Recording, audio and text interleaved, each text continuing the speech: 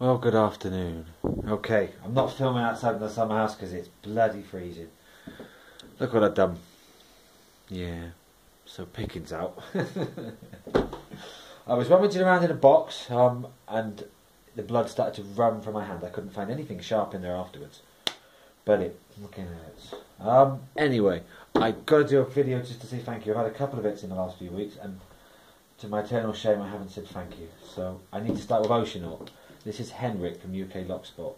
We did a trade a while back, and then I got a surprise package. It turned out it had been at Mum's address for a few weeks, uh, or at least a week.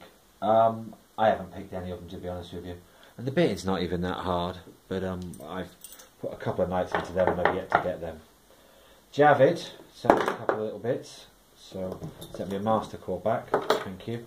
A couple of little brass ones, a Matlock and a Berg Vector Profi. I was going to sit down and pick them today. Well, I was going to sit down and try. He also sent me a bag of evil pins. Um, what's them at random? What are we looking at? Lot of, oh god, are you guys going to catch this? I don't know.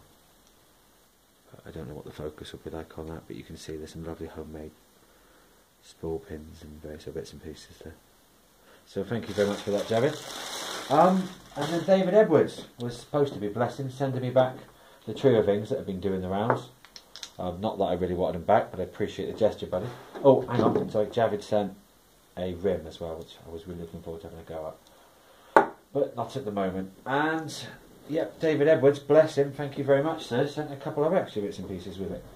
Um, I've got nowhere with these, but I, I need to. The other day I had a job on with a tubular lock and I couldn't do it, so I had to use some non-locked sport approved techniques to gain access.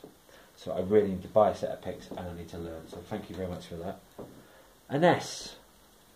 ST. I don't know, half a euro, but it's got a break line on it.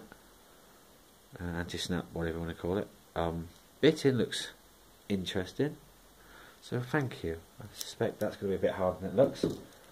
A 5 pin Iseo now there's a slim chance this could be one of mine because I've broken a few of these and sent them out, but you never know. Maybe, maybe not.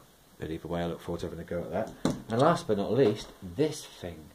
Now, I have never had a go at any of these cruciform keys, the, the locks. It's only a little dinky one, look. I mean, there really isn't a lot to it. Looks like he's been in it or done something to it, I don't know. But I really want to have a go at this. Looks like it's two pin. I mean, can't be very much. Two times four, I don't know.